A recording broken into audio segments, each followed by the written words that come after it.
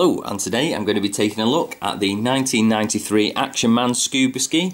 Uh, as you can see here, he comes with the snowboard Raider on top, but actually included in the box, you didn't get him. But on the advertisement, it showed this was the Action Man that you used with it, or the Action Man Swimmer. Uh, this is supposed to be a three-in-one. It's supposed to go on the snow, on the water, and also under the water. So I'll quickly take the Action Man off, and then take you a run through of all the modes. Um, one thing is with this toy is absolutely everything falls off it all the time. Trying to pose it, trying to do anything with it, bits just completely falling off. On mine, I will point out right at the beginning, I have got two blue aerials missing. I have got one somewhere, but I just can't find it. I've lost it. Um, so this is supposed to be a shark design. Um, if I close this up, you can kind of vaguely see what they were going for. And I suppose you could call that the mouth. Uh, I do quite like the look of it. It comes with plenty of stickers. We've got the Action Man logo, just a sticker along here. These ones and all around the front. These are supposed to be guns, I believe, but you can't actually do anything with them. Uh, they're just for styling rather than functionality. Inside here we have like a heads-up display. If I can get inside so you can see just in there. Uh, that's another sticker. Uh, in the configuration I had it in, which is this one down. If I can do it this one down and that one down. That one's supposed to be on the snow. And then if you push this one up, without bits falling off it, there we go. Uh, that's supposed to be for on the water.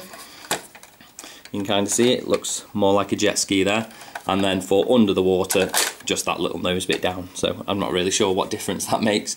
Uh, it does come with different types of firing missiles. We've got these ones which are supposed to be for when it's on land and these ones that are supposed to be for when it's underwater. These just pull out and interchange uh, depending on which preference you want. Um, so yeah, as I was saying, this back bit comes off. Another thing to look out for if you're buying on a secondary market is that these are generally broken. This one's broken here, and I haven't found a glue that seems to hold this Action Man plastic at all. I've tried all sorts.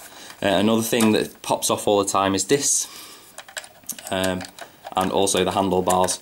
So it is quite a finicky toy.